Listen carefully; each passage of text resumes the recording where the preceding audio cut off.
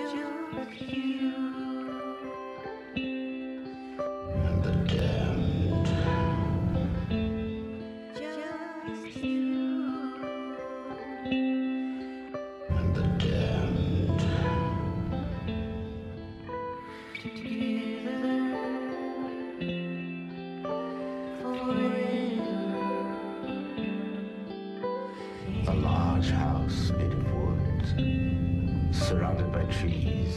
Three, Two. one.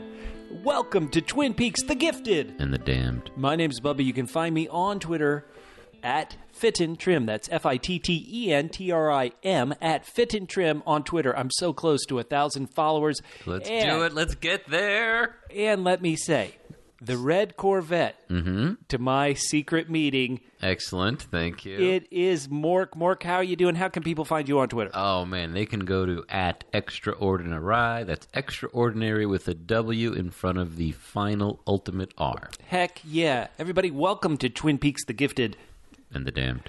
Podcast. In today's podcast, we're going to be spoiling all of the Twin Peaks series, Fire Walk with Me, any of the Twin Peaks books that are out there, and all of them as well, the TV show Northern Exposure, True grit. Cheers, and I'm sure multiple other things. We tend to spoil a lot Yeah. on these podcasts, so we just want you to be aware milk. if you have not finished the wonderful, the groundbreaking, my favorite television series of all times, Twin Peaks, Do it now. do it now before it now. listening to this podcast. On this week's podcast, guys, what I like to call a double P podcast, Double P. a packed podcast. We are going to be doing our continuing series of Twin Peaks Minutes. We're going to tackle episode four, The One Armed Man, directed by Tim Hunter and written by Robert Engels. We're going to give you the Black Lodge and White Lodge minute from that. And we're also going to be covering episode five, Cooper's Dream. Directed by Lesli Linka Glatter. Oh, she's good. And oh, great! And written by Mark Frost, and the White Lodge and Black Lodge minutes for that. Plus, we're going to give you our continuing lowering of quality stories about our real life encounters with a Twin Peaks celebrity. We're going to have a big, and I mean big, bloody battle, Yeah. knockdown, drag out Knuckle up. fight. Essay: Cooper and Audrey, forever or never. How should they have been as a couple? We are oh, going to go through it, this and, and we're going to talk about your feedback as well. I want to mention that we put out our podcast every two weeks, and on our next podcast, it'll be our first one for the month of March, and that means that the that podcast we're going to be giving away a wonderful Twin Peaks prize. It's on our, beautiful. On our next podcast, we're going to be giving away a T-shirt I got at Snoqualmie Falls, aka the site of the Great Northern Hotel on the TV show. Uh, really fun. Plus, we're going to be giving away some Twin Peaks art that's uh, done as postcards. It's so great. If you want to be eligible to win. We need you to do two things. We need you to go to iTunes, mm-hmm. even though we have people who listen to this on mm-hmm. Stitcher. We have people who watch this on YouTube. We have people who maybe get this on SoundCloud. We need you to go to iTunes and leave a written review. You just can't click stars. You have to give us a written review and then go to our Facebook page, facebook.com slash double P podcast. The word double, the single letter P, word podcasts, plural, facebook.com slash double P podcast. Like that. It's so easy. Yeah, so give us an iTunes review, like the page. You're eligible to win these really great prizes. And let me say, listeners, I look at the stats. There are hundreds and hundreds, almost thousands of you guys who listen to our show, or at least are kind enough to download it, who I want you to be eligible for this prize. I know we don't have ads in the show, but the one thing, the one ad is constantly, we need that iTunes review. And trust me, you are going to want to get in on the one we're giving away next month in our It's very good one. next podcast. Plus, mm-hmm. We've got to welcome in today's guest. We always have special guests from Oh, this, great is, series. This is pretty cool. This is pretty cool. So he's everybody's favorite character. Mm-hmm. He's going to be appearing in the new Showtime episodes, Twin Peaks season three. Yeah. It is pretty everybody's favorite biker, James Hurley. James, Yo, James, why don't you come on over? James, how you doing, buddy? uh, fruit punch, that'd be good, thank you. Good kid. Good kid, James. Good kid. Something happened a couple of days ago. She wouldn't see me. She wouldn't even talk to me. I didn't see her again. Don't don't listen, James. You don't have to cry. What, James? You, you don't have to sing either, James. James, Oh. put, put the guitar James, away. please. Okay, uh, James, we're going to just turn off your mic for a bit. You'll be back with us in a Yeah. bit. Okay, good work. Okay. Good kid, James. Good kid, James. Good kid. All right, so Mork, let's get to it. It's time for our Twin Peaks minute. We're going to get into this first one. It's e- episode four, which is, of Yep. course, the fifth episode of Twin Peaks to Sure. air. The Germans titled the episode "The One Armed Man." It's directed by Tim Hunter, who Ooh. directed the, the previous to directing this episode. He directed this great film, which a lot of people thought was already similar to Twin Peaks in spirit, entitled "The River's Edge."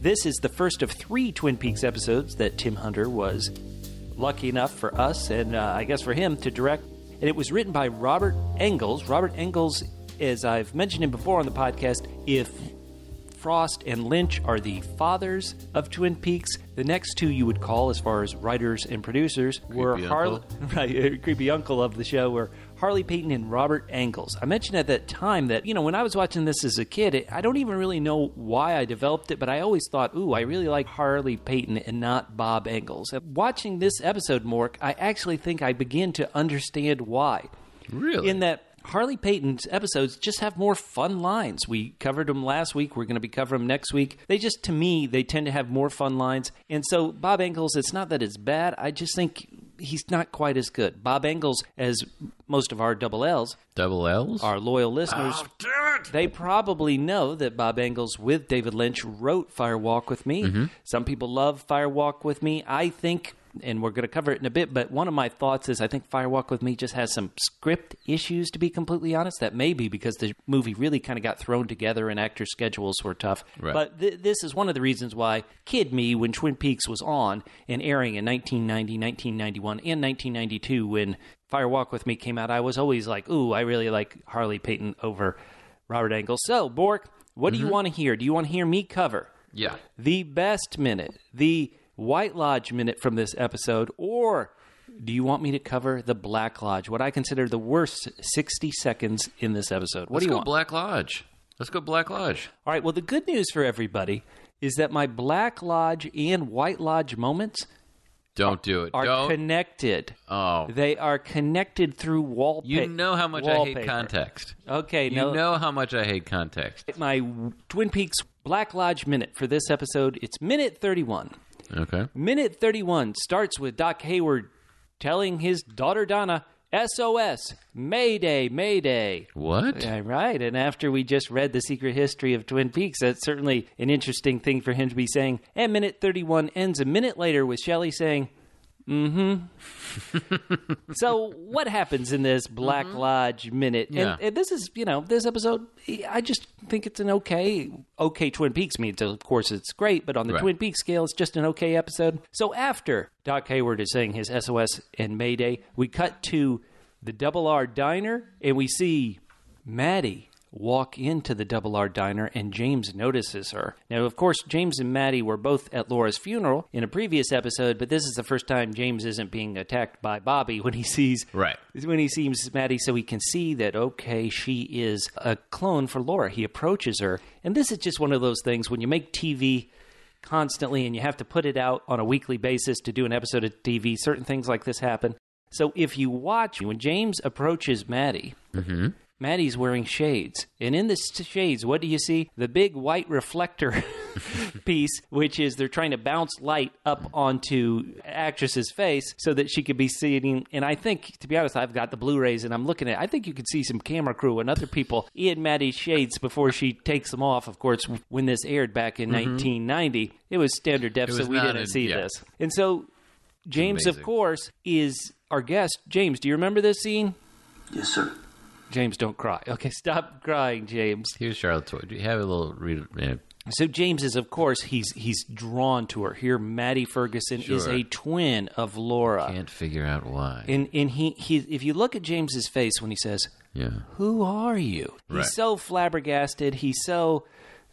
Boy, I can't think of the nicest way to say it other than uh, slack jawed, Dumbfounded? dumbfounded. That's good. Yeah. And uh, once again, the minute ends a minute later with Maddie, you know, grabbing this food for her aunt and uncle, Leland and Sarah, who are doing rough naturally. Sure. And she's talking to Shelley, and of course, Shelley ends it with mm-hmm. mm-hmm. Not that there's anything necessarily just kind of tough about this minute, it just doesn't sell. It doesn't sing. But I mentioned that this Black Lodge Minute is connected to White Lodge Minute. Uh huh. Here's another thing when you're producing weekly television, you've got a budget. There is, believe it or not, in the set, the set that was filmed in Van Nuys version of the Double R Diner, which is the main one we see, there's wallpaper on it. And that exact matching wallpaper is in Jacques Renault's apartment, which is in my White Lodge Hell Minute. Yeah. Nice. My White Lodge minute is minute 38. it begins with Andy saying, Harry, Agent Cooper, it's a mynah bird named Waldo, owned by Jacques Renault. It ends a minute later with Bobby running and this great score going ba-dum, ba-dum, ba-dum, ba-dum, as Bobby Briggs runs down the back alley of there at Jacques' apartment. Yeah. Andy says this, of course. Harry, Agent Cooper, it's a mynah bird named Waldo, owned by Jacques Renault. Then Cooper mm-hmm. has this classic Cooper line, and the, really the best line in this Robert Engels episode. He says, Gentlemen, when two separate events occur simultaneously pertains to the same object of inquiry, we must always pay strict attention. And then Kind of like what you're doing. Yeah, You with are the paying- wallpaper, yeah, right. exactly. You have you have connected these two. I love it. So that line is very famous. People know it. But what gets even better is after he says that, Cooper suddenly smiles and he continues, Fellas, let's make a house call. We smash cut. There's no score. We mm-hmm. just cut and we see these people playing tennis outside and they're completely wrapped up head Yeah. to toe. This is, of course, supposed to be February Right. in northeastern Eastern state of Washington. State of Washington. We cut to these people playing tennis. I just love that note. Then, another thing you don't see too much in a Twin Peaks episode, here, once again directed by Tim Hunter, is we're focusing on these people playing tennis, and it's a whip pan. It pans from the tennis court, whips to Cooper's face. Andy didn't get to go with Cooper on this outing. It's only Cooper, Harry, and Hawk who go to Jacques Renault's apartment, excuse me. And of course, they were looking for him, so why did they suddenly think, well, we got to go to his apartment? Yeah. While they're going there, Bobby is inside trying to plant this bloody shirt to Yeah. tie Leo to this, to get Leo out of his life with Shelley. The police come up to the door, knock on the door. Bobby hears it. He jumps out. Really, it, it, it's tense. There's quick editing. Last Uh-huh. week I was talking about visual rhythm and so much. And then the score suddenly kicks in. It suddenly kicks in as the policemen are walking up the stairs to Yeah. Jacques' apartment. They're banging on the door. And it becomes this once again. Ba-dum, ba-dum, ba-dum. It's so good. Minute 38, the White Lodge minute in this episode. I loved it. Thumbs up from me. What do you think of those two choices, Mork? I hate to say this, but I pretty much agree. Uh, I, I, I pretty much agree. Yeah, well done. It does make me wonder. Like the best place to bring comfort food to uh, Sarah Leland Palmer is the our the Double R Diner. Yeah, one of the Uh, two restaurants which is in one town. of the two. It's like, come on, maybe uh, you know, bring something from home. I don't, I don't know. Who knows? Maybe this is why Leland ultimately killed her. But let's. Ow. Well, look, I just I, I wish there was a better restaurant, but no, you, you have certain characters who are there to fulfill a purpose and to and to do certain things, and and, and sometimes like you know with James, it, and I hate to talk about him while he's trying to set up. Uh, he, he's brought uh, several vintage microphones to to set up. I don't know if they're gonna. Uh, And he's sitting connect. down on the floor. You know, you can come up here to the to the table with us, James. Yeah, he he could. The guitar is almost as big as the motorcycle. Did you ever notice that? Good work, James. Yeah, thanks, James. Good kid, James. Good kid. All right, well, Mork, let's get to your Twin Peaks minute. It's episode five. The Germans entitled it Cooper's Dream. It's directed once again by Lesli Linka Glatter. Well, boy, is she great. Now, this was the first episode of four Twin Peaks episodes that Yeah, she she does a good one. directed. Lynch directed six. The next director up is Leslie at four episodes. She, everybody knows her work. After Twin Peaks, she did Lynch Frost's sitcom On the Air. She did NYPD Blue. She did Mark Frost, other TV series, Buddy Faro. She did Law and Order, SVU, Freaks and Geeks, Gilmore Girls, The OC, Grey's Anatomy, West Wing, Heroes, ER Weeds. She's done so many on Mad Men that get nominated for awards. I- I'm only listing a handful of all these incredible episodes that she has directed. Is she not one of the best television directors, hands down? I almost feel bad calling it television. Her work is so great. She she's just perfect. Oh, she's a wonderful director, and and I, I love seeing. I mean, like there's definitely people you know now when we you know uh, you know Game of Thrones has sort of their their stable, Their stable of directors, Uh, right. The Strain doesn't really have a stable yet, but they're working on it. uh, but it's fun to see people who do you know like a wide range of things, and you know if you do you know Law and Order, SVU, Freaks and Geeks, and Gilmore Girls, that's a pretty good run. That's Yeah. a pretty good run. I Not mean, to mention, you know, ER and Mad Men and, and Yeah, Heroes she's and- currently and- oh, she's yeah, currently doing a lot of episodes of Homeland, another Showtime show. Ah, that's good stuff. And when so- does your temporary subscription begin? I'm going to subscribe to Showtime May first. May first. That's you know I, I I'm holding out till and May. they're and they're showing Firewalk with Me. Uh, I- I- next month, next month in next March. month? yeah. Okay, all right. So that'll be that'll be perfect. Let's hear your Black Lodge minute. Let's get to it. Okay, Black Lodge minute is it touches on a couple uh, past Black Lodge moments for me. No boy, Um, please tell me you're not going to be mean to Nadine. No, Mork. no, no, no. So it starts off really good, and this Okay. is this is this is at the very end of the episode, not at the very very end of the episode. Sure, give me a time. Forty three. I'm going to give you a time right now. Forty three thirty two to forty four thirty two. Okay. and it starts off great, and it starts off with a reunion that's long in the making. And who is it? Who? Hank and Leo. Oh, yeah. and we've seen them before, but it's you know this goes back to um, you know some of the stuff going on with Bobby, and when we see Leo and Bob, Mike and Bobby meeting in the woods, how great that was. So we're going up a little higher on the criminal ladder, and we see Hank and Leo, and and Hank gives Leo what for, knocks him down. We learn a little bit more about their operation. Okay, we're widening the world. I love it. Love it.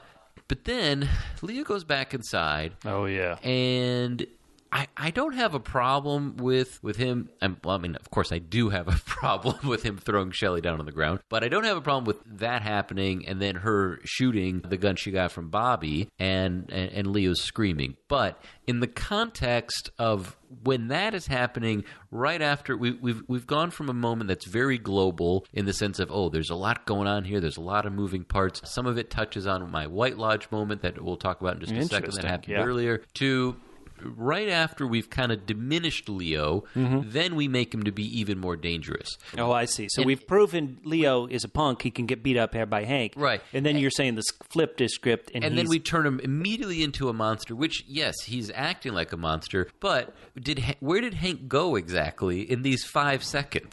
Does he have a, a helicopter waiting for him where he's whisked away? If you go to your some some punk toady uh, stool's house and you got to smack him around, Right. And you do so, and then you know you see them roughing up the. I do you get involved? Do you not get involved? finish these sentences, Mark? You're real good at like. And you go to some toadie's house, and then you.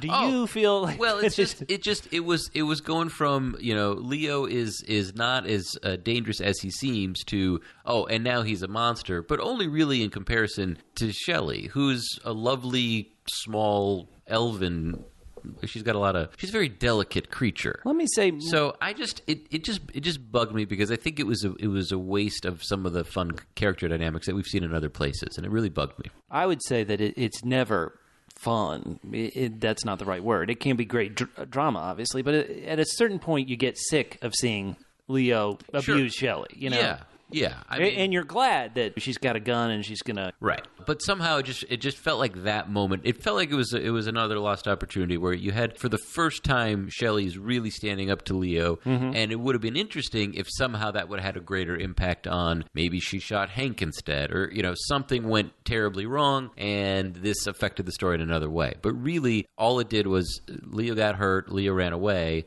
And then Leo shows up later. Yeah, if- that that's kind of a soap opera trope, Mork. And I'll point out that next week our essay is Twin Peaks as soap opera. But yeah. hell yeah. So I can understand that being a Black Lodge minute. Boy, you've brought us down, Mork. So take us into the White Lodge. Give Okay, me the White so, Lodge. So this is this is a fun minute. We're going to back up just a little bit. It's thirty five fifty two to thirty six fifty two. Hmm. We're at uh, we've got an event at the Great Northern where Yeah. where there are so many wonderful things happening. Some sordid, some just business like, some both actually. But we have some of the funnest characters. We start off with Leland, and we sort of follow his POV. It's it was I, I really liked how it was done. So this is kudos to uh, our, our director Leslie. It, there's not too much going on from a plot standpoint, but I think from a story standpoint, in this minute, yeah. in this minute exactly. So we see Leland, and we're sort of following his point of view as he surveys the room of the Icelanders. of the the, the the Icelanders are there. You have Jerry hitting on us. Heba, oh, Uh, loves her. who's who's about a foot taller than him. You see Ben Horne holding court. You see Catherine Martell observing and going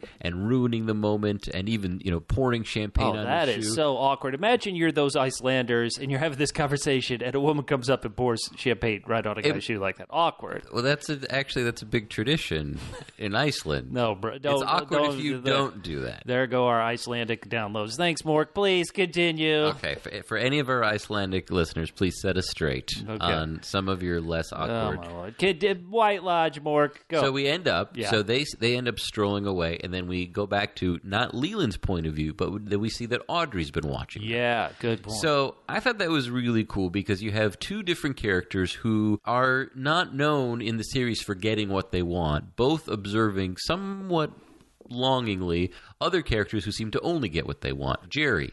Ben, Oh, yeah. Catherine Martell. These are people who they're very much on the take side of things, and you know Audrey and, and Leland. Leland the man. This is not the possessed Leland, but Right. just Leland the man is somebody who he's lost his daughter. He's watching someone else celebrate. They're on top of the world. There's a lot of really interesting things going on from a uh, from a character perspective, and it's not the flashiest moment in the in the episode. That might be the very end of this episode, which I think we're going to talk about. Oh, yeah. a little bit later.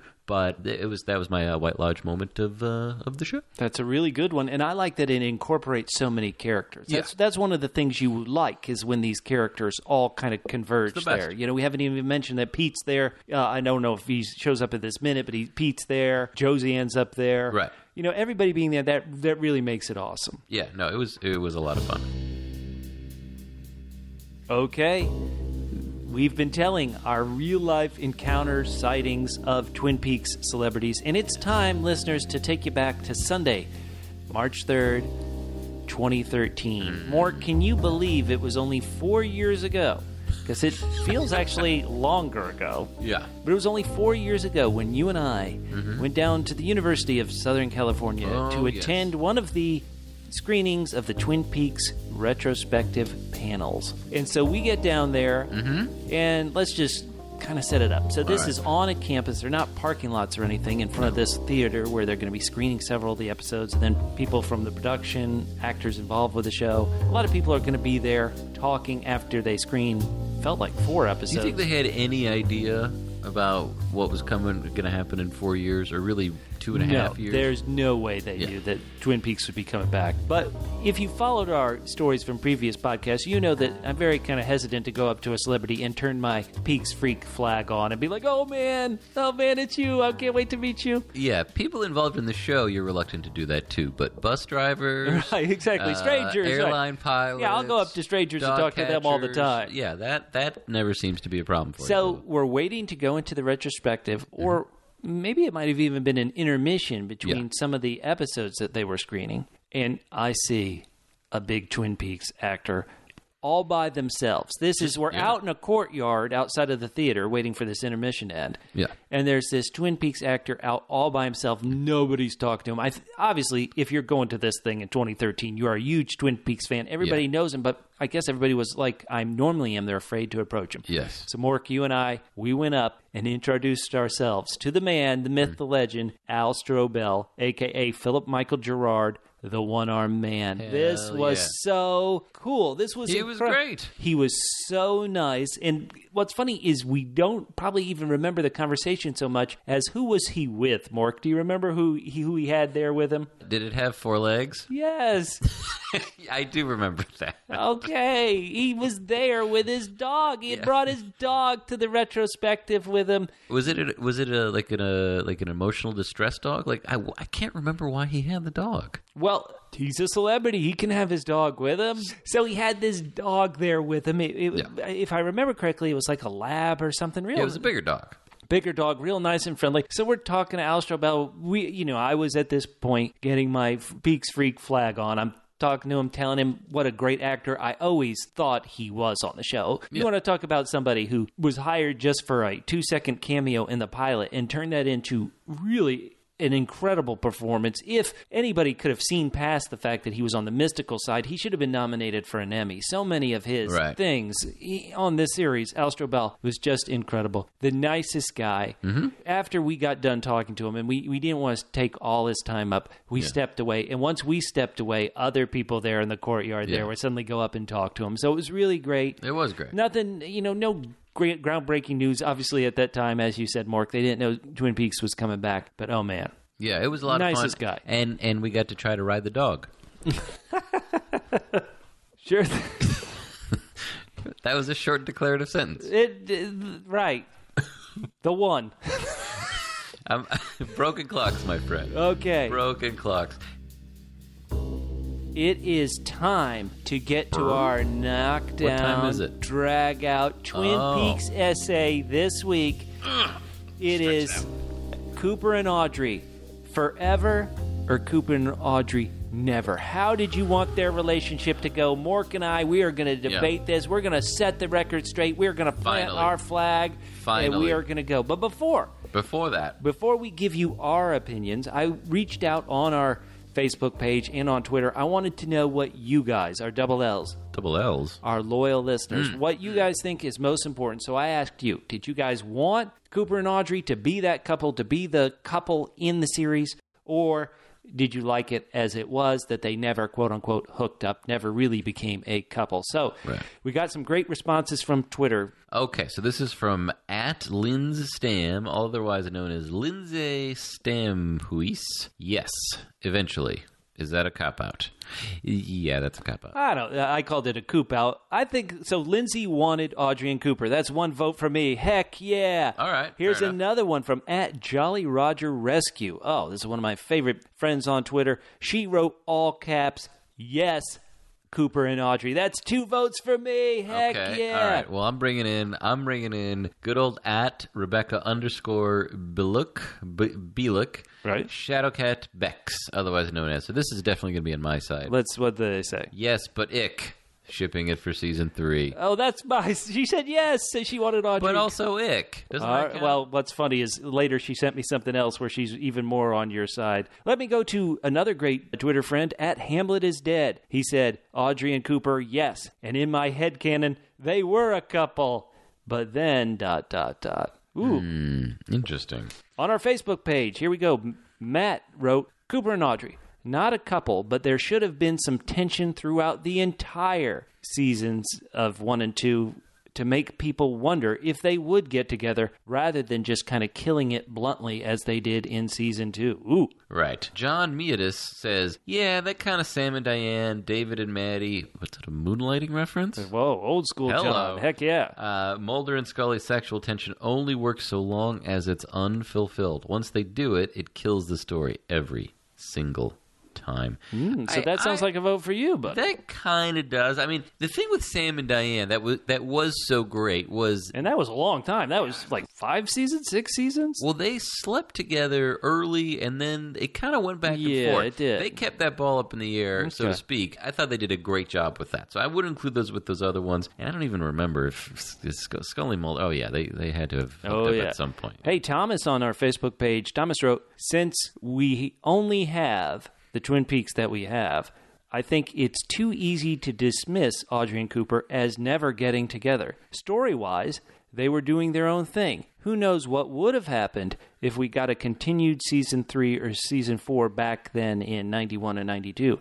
Mm-hmm. Thomas writes, anyway, blame Lara Flynn Boyle if all else fails. Oh, Oh, LOL. snap. Uh, we are going to get to that. So that sounds like another vote for me, pro Cooper Audrey. Okay. Heck yeah. Somehow I feel like the uh, the the the butcher has his thumb on the scale here, but All right, but, that's uh, all right. Okay, Dave McNeil, otherwise known as Sneaky McDave, says, "I'm late to the party here, but no. Coop's reasons for rejecting her were absolutely correct, not in line with his character." And our final response was once again from Shadowcat Bex on Twitter.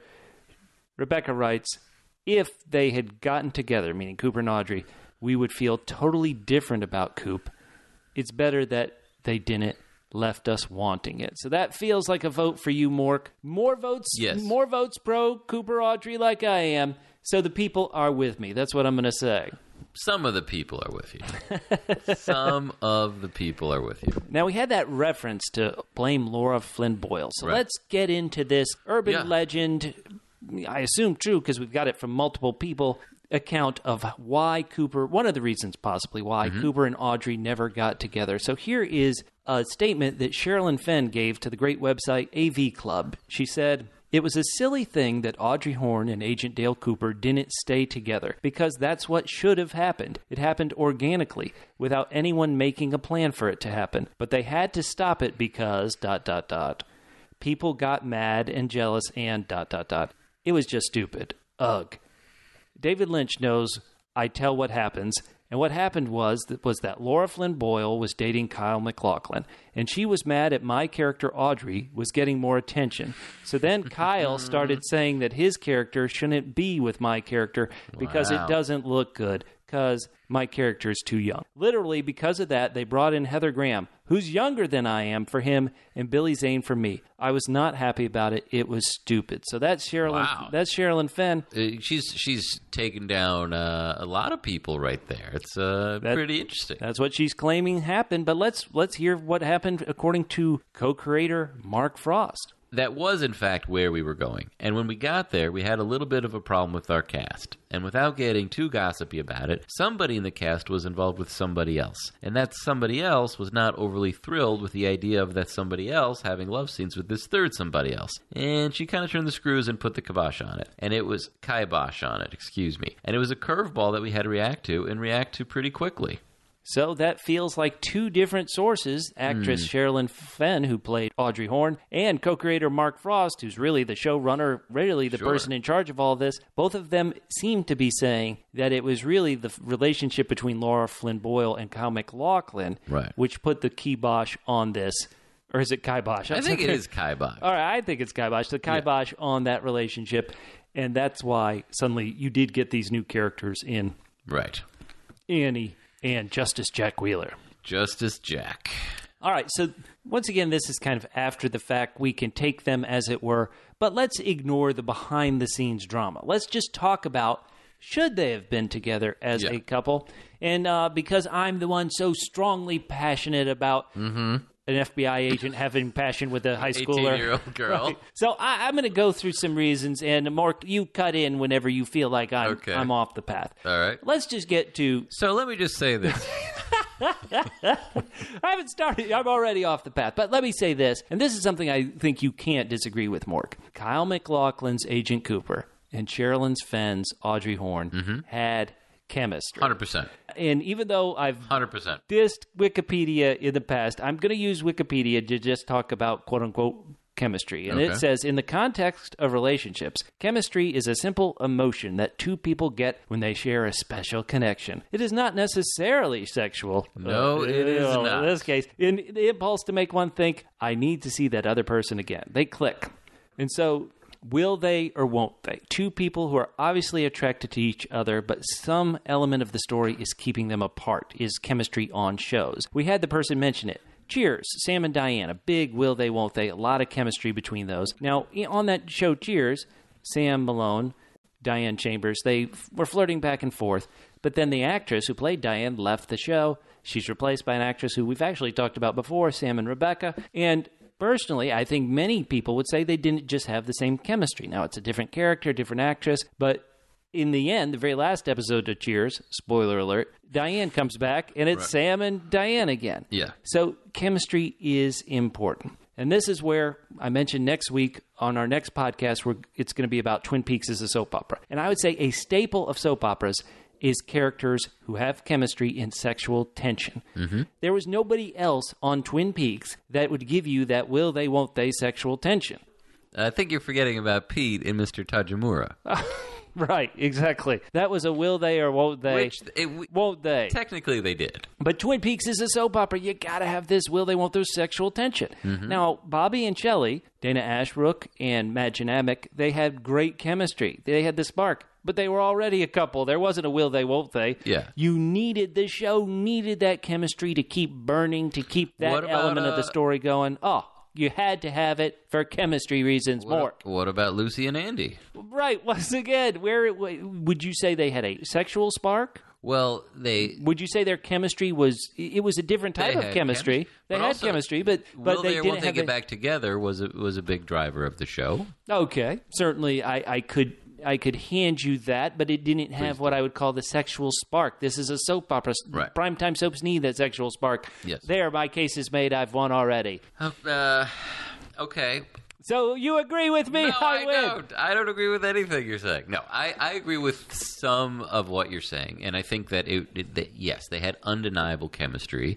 and I don't think they really took full advantage of it. Oh boy, another. So I agree. So, and that doesn't mean that necessarily that they had to hop in the sack. I mean, one of the greatest moments ever captured on film is uh, Coop coming back to his room in the Great Northern, and turn on the lights, and oh, Audrey's waiting for Yeah, him. in this episode we covered with- today in the Twin Peaks minute. Oh, Yeah, without any pajamas on. So, was that a magical moment? Yes. But that was episode five Right. of the, the, the show. We're more than halfway through season one, but we're really not anywhere in terms of the overall journey. So, Oh. Mm-hmm. they hinted at it. I mean, from the very first, I mean, one of my favorite uh, yeah. It was White your Lodge twin, moments your was White Lodge moment. you know, uh, freshly squeezed. You know, every single pervert in America knew what was going on, and by that I mean every person in America. But they squelched it very quickly, and also they kind of, you know, they didn't bleed the valve a little bit. Let me say I, I disagree with you saying they squelch it. Yes, in this specific moment, they didn't suddenly, you know, Coop didn't hop into bed and say, well, "Let me get you undercovers, young lady. I'm an undercover FBI man. Let me get under the covers with Lit- you." literally. But I, I would say that there is still a love when he's rescuing Audrey from One Eye Jacks in season two. You know, there there is a lot of passion there. He even says later, I, "I'm thinking about Audrey's smile." Come on, But who wouldn't he have done that for? There's there's no one he would not have rescued. You know, for example, if Lara Flynn Boyle's character,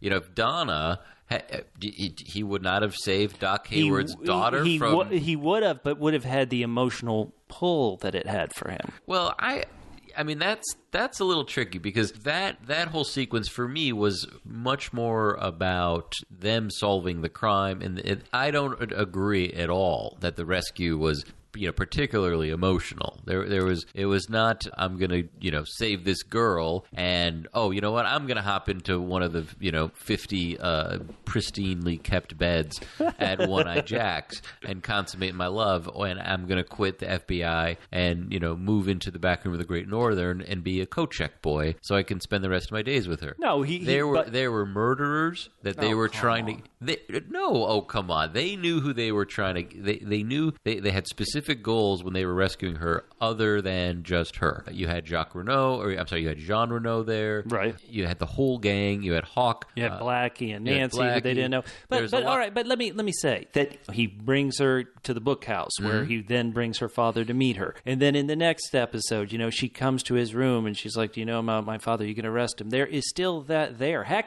In Dougie Milford's wedding, they have a dance which still has a lot of chemistry. I don't think they officially put the kibosh on it until it suddenly like here are these Until brand Billy new Zane. characters. Uh, right until John Jack Justice Wheeler Right. comes in and it's something like, uh, yes, here's this completely new thing. Yeah, I. I it, it, it does it does make you wonder, but it, it, they needed to. I mean, it's just like there's so many great stories where you know you look at. Of course, I can't think of any right now. But how many great stories have a character who, if only they had hadn't done that one small thing, then they wouldn't have gotten in trouble, and then they wouldn't have had this amazing journey to go on. This to- feels like another vote for me. Yes. to eventually redeem themselves. But the fact is, they didn't do that, and it would have been great. But it also it would have it, it, it would have diminished Coop's character ultimately, Right. And and yeah, and some some of you know some of our friends are right saying that you know maybe down the road in ten or twenty years, or who knows what we're going to see. Now, I think there's there, two words. Let's hear them. Two words, which is the, the, the best reason why they didn't get together on the show. Are you ready? Let's hear those two words. Fan fiction. what, that makes no sense. What now? Look, they didn't do it on the show, but there are plenty of places on the Oh, internet brother. to go read oh, about. You know, the bitter- internet barely existed in 1991 But when they does, put the kibosh. but it does now. Think about it. If it wasn't for fan fiction, we wouldn't have Fifty Shades of Grey. okay, we Q E D. right. We wouldn't have those bookhouse boys uh, sex orgies.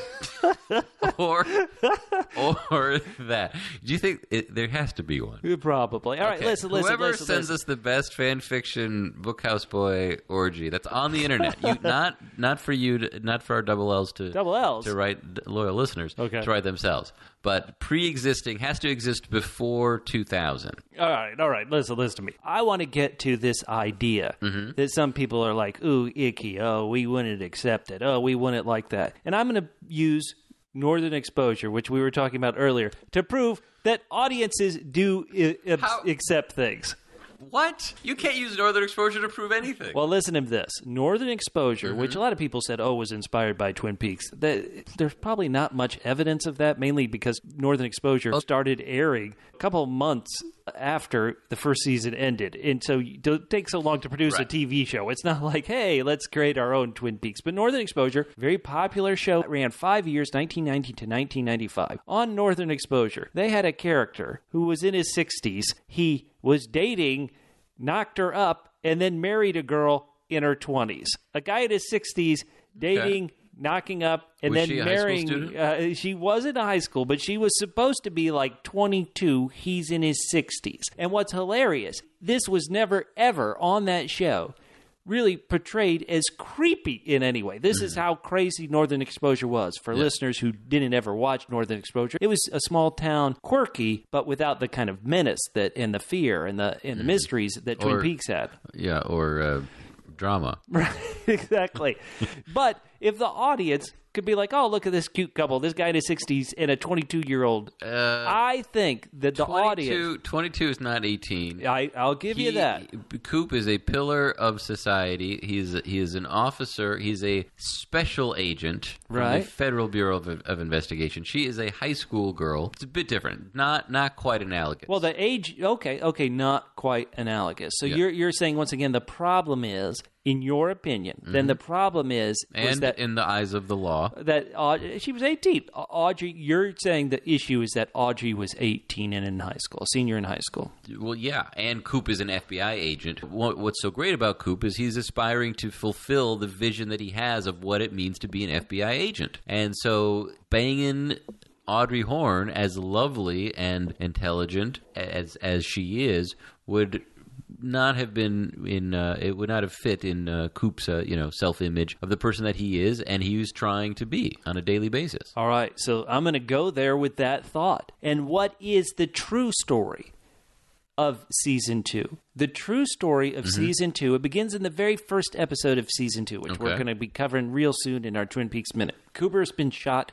and he's talking about, you know, it's okay if you can keep the fear from your mind. Then later on, midpoint of season two, Cooper's talking to Hawk about White Lodge, you know, Black Lodge, all this stuff. And Hawk tells Cooper, if you go near these lodges with imperfect courage, you know, with imperfect courage, aka fear, you've got fear, it will utterly annihilate your soul. They were setting this up, fear, from the very beginning of season two, leading up to Cooper falling. Mm-hmm. And then, of course, we all know at the end of season two, he is either possessed by Bob or his doppelganger's gone out with Bob in him. However, you read that ending.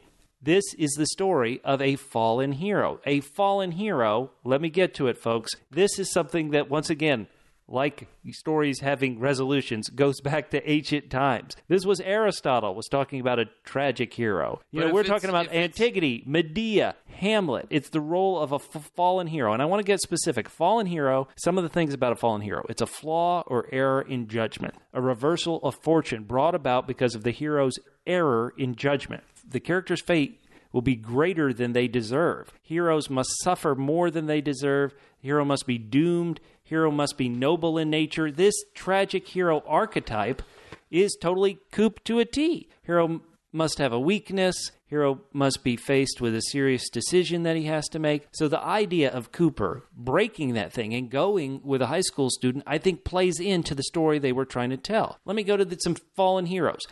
How many people have heard of Adam and Eve? That's the very story. Hey, you're not supposed to do this one thing. Mm-hmm. You're not supposed to eat these delicious Washington State apples. Western, Right, Western or North- Eastern right. Washington. And so they eat them. they fall out. The idea that you see on the show, you see Cooper about to kiss Annie there mm-hmm. at the Roadhouse in some of the pre Miss Twin Peaks festivities. The giant suddenly appears on stage and it starts waving his hands. No, no, no. Why shouldn't Cooper, a consenting adult, kiss Annie?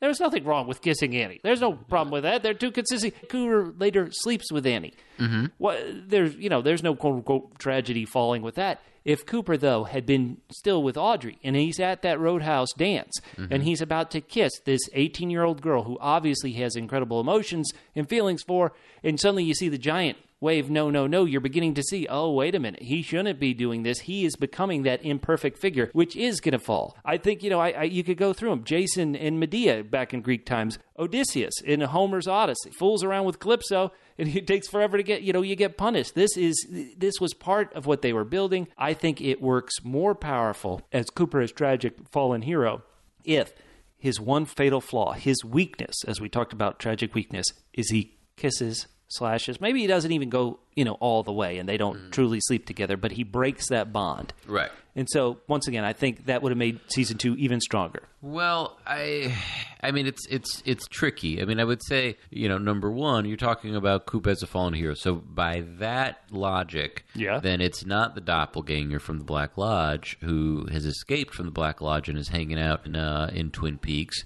If, if that's the case, then it didn't really matter what Coop did. Well, uh, Cooper, Cooper, once again, season two was always aimed for season cliffhanger on. Oh no, Cooper looks into the mirror and mm-hmm. sees Bob. Like that. That was always the plan. In, in I've read some interviews where Harley Peyton, you know, once again, my boy. Harley Peyton says, it, mm-hmm. it, you know, he was the one who said, well, okay, that'll be our season cliffhanger for season two. So, yeah, he was always going to fall. I mean, once again, w- when David Lynch rearranged the plotting of mm-hmm. What exactly was going to happen there in the Black Lodge, Red Room, however you call it. So yeah, the reading of it has become a bit muddled, but it was it, Cooper was always going to fall. Okay, so but if if if it's the doppelganger, I guess here's my question: If the doppelganger has snuck out, Right. so by, by that logic, though, then it's not a doppelganger; it's Coop. It's Coop. It's not a doppelganger. It's- it's the- Coop is not stuck. He, wasn't stabbed and is barely surviving inside the lodge. Well, he's out of the lodge. Okay. and he's possessed by Bob. I mean, it has to be for him to have fallen. Right, Otherwise, right, it's right, not right, Coop. right. Well, it's just like Leland as a little boy had some fear, or whatever you would call it. That Mm-hmm. you know, he he invited him in. He invited Bob in somehow, and so so yeah, that's one way to read it. Mm-hmm. But I think that moment becomes even more powerful if he has that you quote talk unquote about weakness. you talk about imperfect courage. So imperfect courage, if he's really in love with Audrey, and that's his soulmate, and he acts on that and says, you know what, I don't care what this does to my career. I don't care about uh, what this looks like. I, she is the one I love. I'm going to be with her. You know that that that does not sound like someone who's afraid. That sounds like someone who uh, that's not a flaw. That's not a weakness. They're doing something for for true love. That you know that is Ro- you know Romeo and Juliet. You know they it was inconvenient for them uh, to be in love, but they were. You know so I mean, I mean I guess I have a problem with if he's really in love with her, then how, how does that affect you know how does that give him fear how does that uh, uh, you know make him you know doubt himself at all Well, I if would- it's if it's true love Well, I would say that theoretically, the fear was going to be the same fear. The fear was I'm approaching the the lodges with fear rather than confidence. And like, okay, I'm going to come in here and I'm going to rescue Annie or Audrey. Mm-hmm. But instead, it's oh, I'm coming in here and it's all about oh no, what could happen? What could happen? What could happen? And so the, theoretically, the fear was the same. Wasn't that the idea? It's kind of opaque, but you can read it multiple ways. Is that fear open the gateway. That's what Earl said when he was dragging Annie in, and Annie kind of almost became a bit possessed when she stepped into those sycamore trees. But so maybe you could read it that Annie's fear is what opened the gate, and that's how Earl and Annie got in. And then Cooper, once again, his fear for his love. It in my scenario, it should have been Audrey. He goes to Glastonbury Grove, sees the patch of that smells like burnt engine oil. His fear for that. That's how he gets into or maybe it's his love for her. This person gets in. I, I just think it would have made that moment even more powerful. I, I think they should have been together. Once again, how physical it got, I think it kind of, if you go to a lot of classic literature, it is, you know, once again, biting the apple. but I, I, I think it would have been more powerful if it had been a character we we knew throughout the entire series in peril rather than Annie, who not not that we didn't like her, but Annie was really only around for what five episodes. would you have okay so let's just let's just play this through because how often have we seen audrey in peril. I mean, she was drugged and almost murdered by Right. drug dealers and evil hookers. Right. Yeah. Already. And, and so, what do you do with stories? You heighten them. Right. You know that is nothing. What But as terrible as What I Jax was, that's nothing compared to what's going down in Glastonbury Grove. baby. Well, uh, yes and no. I mean, you know, dude, there's greater stakes. Uh, Thank you. know. My uh, point for me.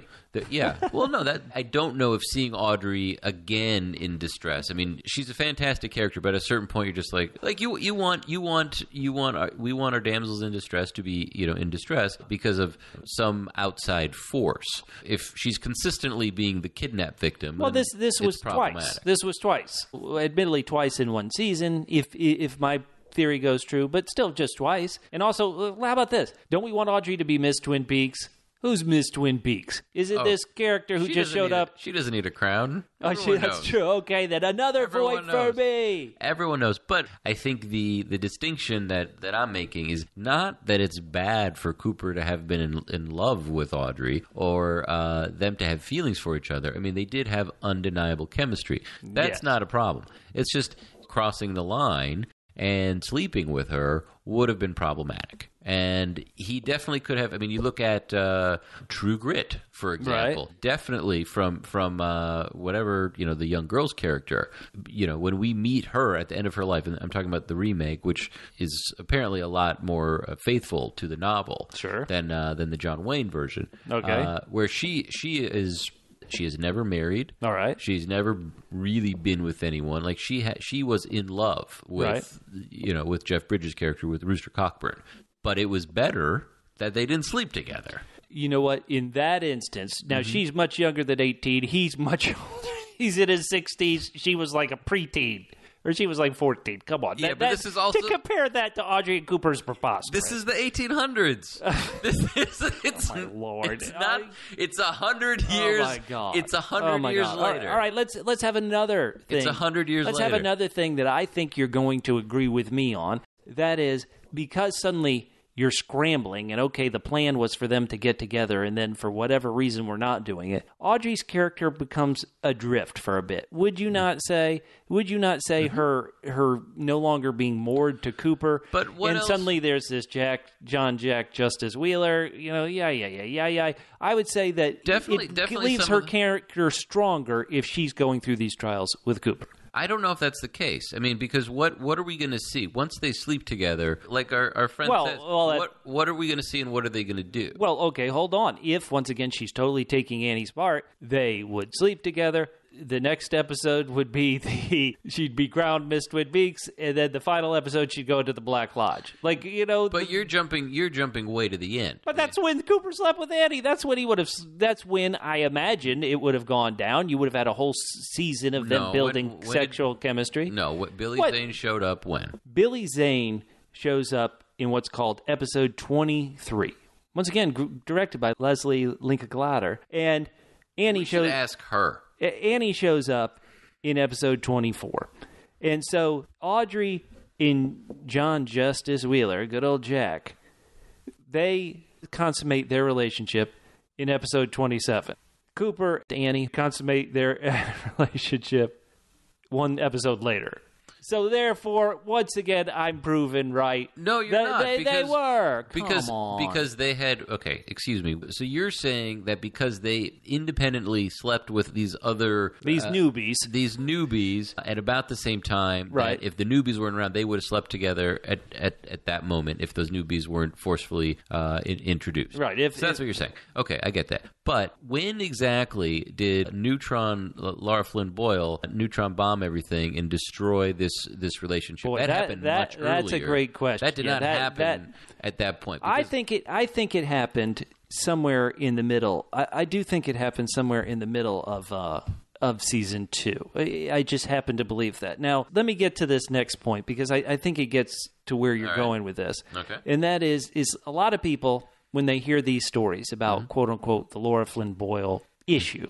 right. A lot of people like to do say, "Oh, blame Lara Flynn Boyle," or they go, "Oh, blame Kyle MacLachlan for ruining this great storyline." Guess who Bubba blames?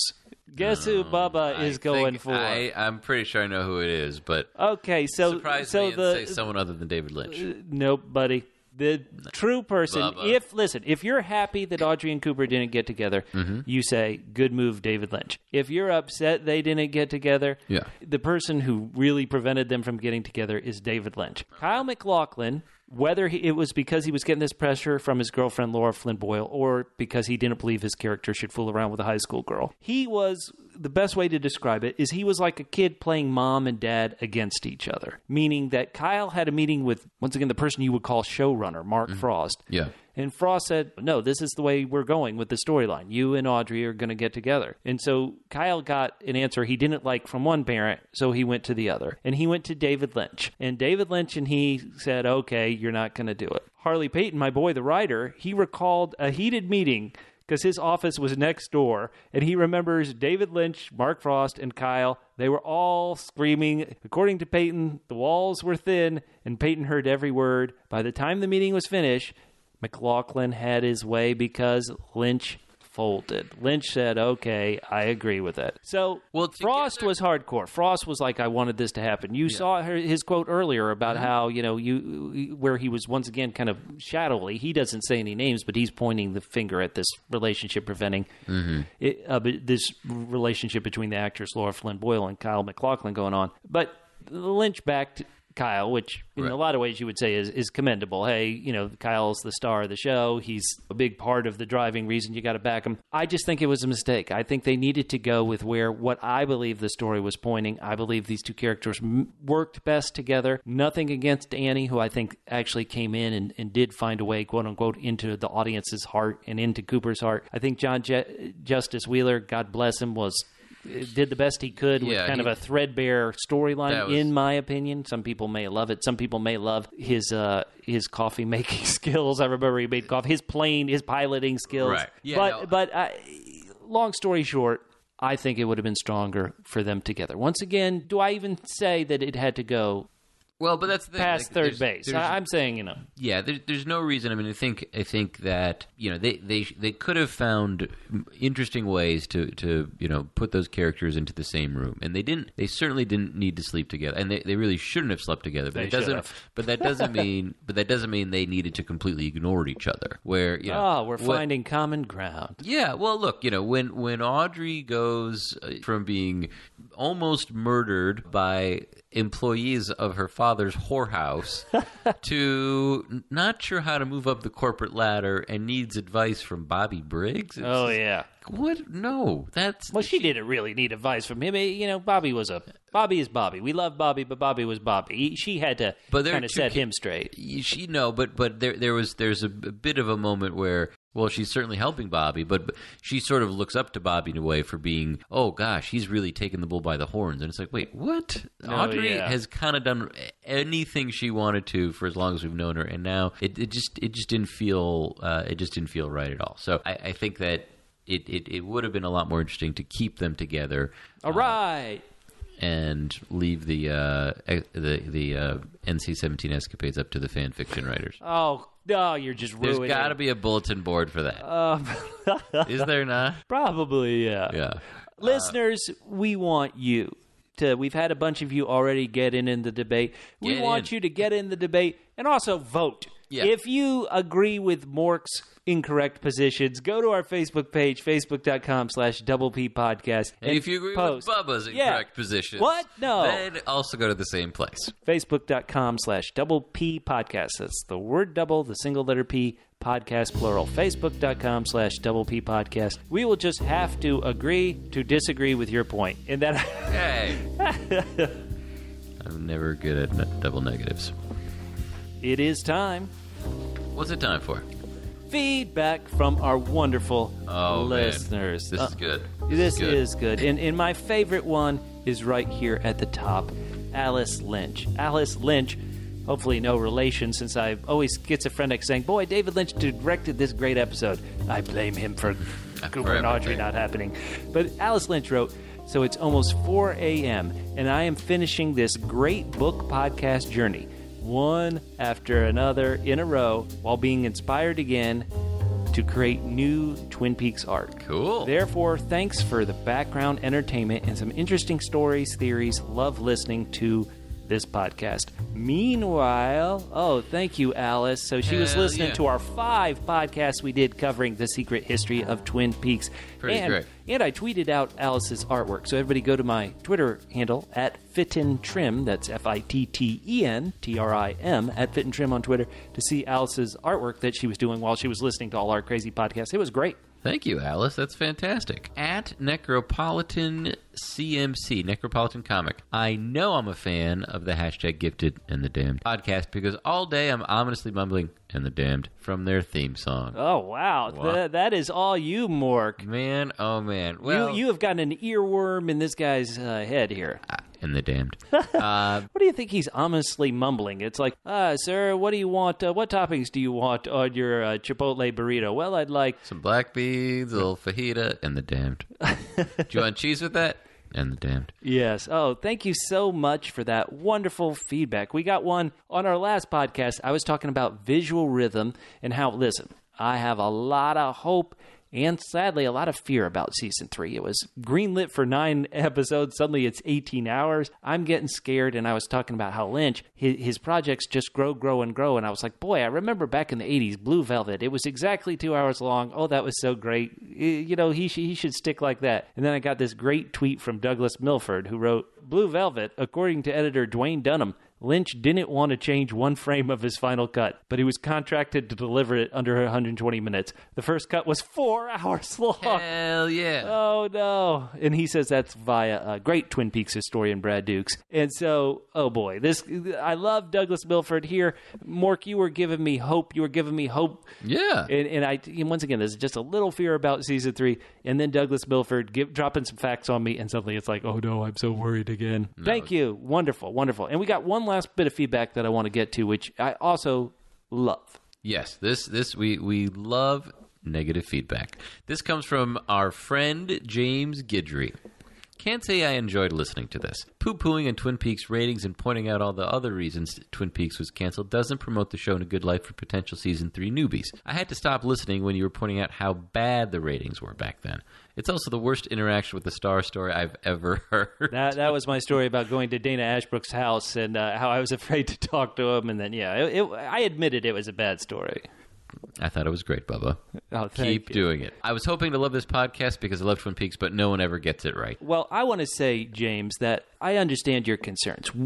Everybody loves Twin Peaks, right? And then to, to turn on a, a podcast which is constantly talking about how it, it was getting tough ratings, mm-hmm. I could understand why that's why you why that could get you down. And, and I certainly don't mean for that to happen. So, James, while I I understand your concerns, I just kind of don't agree with them because in some ways, what's so crazy is I go the other way. Is that Twin Peaks was such a great work of art, such a wonderful television series. More One of the- people should have watched. one of the greatest television shows of all time. Its quality was so great that even though it got terrible ratings here, 26 years, 27 Yeah. years later, it's coming back because people loved it so much. Yeah. And I also just, James described it as poo pooing on Twin Peaks' rating. And, and I want to remind everybody. I don't think it's poo pooing. I mean, we're just reporting that the ratings were. Right. We were we're really just reporting what they were. Maybe kind of we're emphasizing it because as I mentioned in, in some of these ratings podcasts, if you go to Wikipedia, if you to be honest, listen to a lot of other podcasts, if you even read books written about Twin Peaks,